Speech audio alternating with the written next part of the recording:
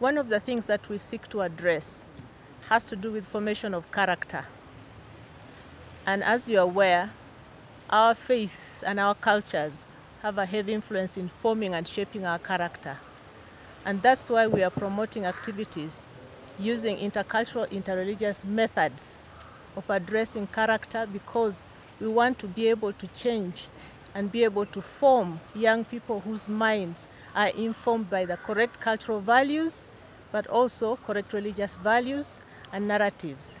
So one of the things we are doing right now is to generate narratives, religious narratives, theologically sound narratives, because those are the ones we've established are influencing the young people who are being radicalized because they are being fed with ideology and narratives that are not religiously sound. So an activity is organized around that, and the dialogues are also organized around that. The other thing we are doing is we're doing research because we need to inform whatever we are doing. Because you can advocate for something without a sound basis. So we are doing carrying out research.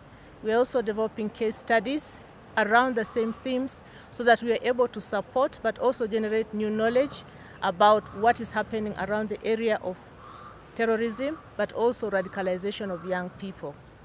Now, there are other activities that are being done by, carried out by the sub-grantees that KMYA will talk about.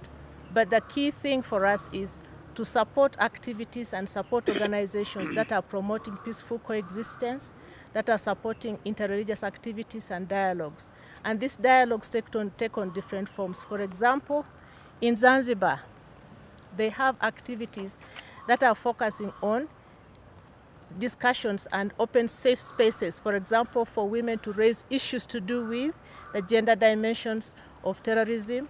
And in Zanzibar, those safe spaces are very important because the training and the culture does not permit women's issues, girls' issues to be raised in certain public spaces. So that activity is unique to Zanzibar because of the cultural makeup of that country.